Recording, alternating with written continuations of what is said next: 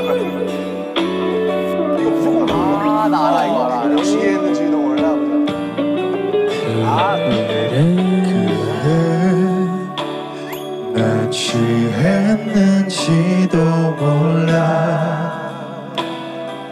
실수인지도 몰라 아침이면 까마득히 오늘 태영이 형 콘서트 될것 생각이 같아요. 하나 까마득히 생각이 하나 불안해하지는 마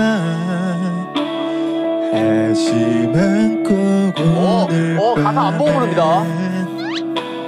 봤어. 해야 할 말이 마.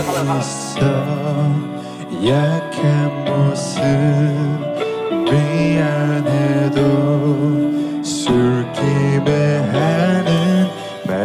생각지는 마. 언제나 네 앞에 서면 준비했었던 말도 왜 난 반대로 말해놓고 돌아서 후회하는지. 이젠 고백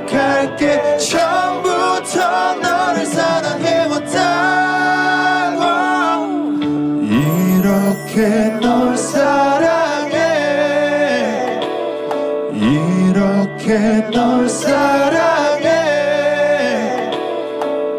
어설픈 나의 말이 촌스럽고 못 믿어워도 그냥 하는 말이 아니야. 두 번 다시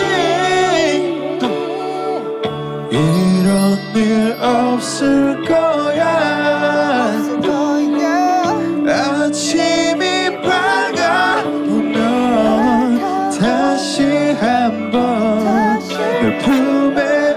않고 사랑한단 말을